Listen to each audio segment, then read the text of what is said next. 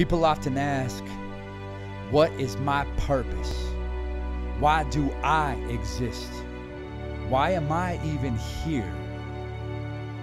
Because I am. I am a simple yet complex species, a beast unlike any other, spending most of my time doing the same things as every other thing living. I live. I eat, sleep, reproduce, and survive. That is my life. And just in case you were curious, there are more than 3,500 species like me on this earth at this time, and less than 10% has venom derived. So pay close attention, as I am a small representation of an estimated more than 8 million animal types alive today. On the surface of our earth, where we all exist equally, living side by side together in synchrony. Now, I'm beginning to understand that many of you might consider us monsters. But make no mistake that we are, without a doubt, the most misunderstood, misrepresented, and mistakenly feared creatures ever created by our mother in common, our Mother Nature.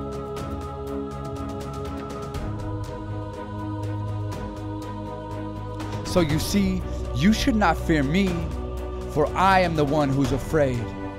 I'm afraid that this fear is mostly misguided and more often than not made so by people who probably know more about the moon, stars, and Milky Way galaxy. And to be honest, probably all three.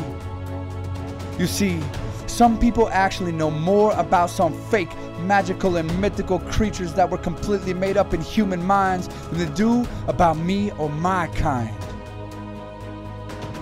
That's pretty crazy, right? But why? Am I really that difficult to realize, sympathize, or identify with? Or do you just not want to take the time? And if not, then why? Why? When millions of people every day rely on venoms just like mine worldwide? Why? When I give to you the opportunity of an improved quality of life and provide humans with the possibility of more time? So, yes, I am venomous. And I am consistently creating countless natural compounds, a never ending supply of proteins and enzymes that are collected in labs by mankind and used to create medicines of all kinds. I am continuously giving in contribution to potions and pills and pharmaceutical solutions so that it is possible for you to live longer without the countless issues that may kill you usually.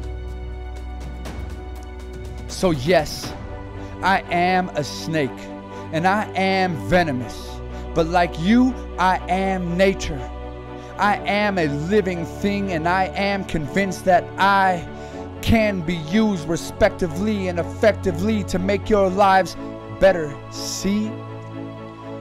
And with the continuation of understanding, research, and education, then maybe, just maybe, I am more than just some animal most feared, some monster so mistakenly misunderstood. So here I am.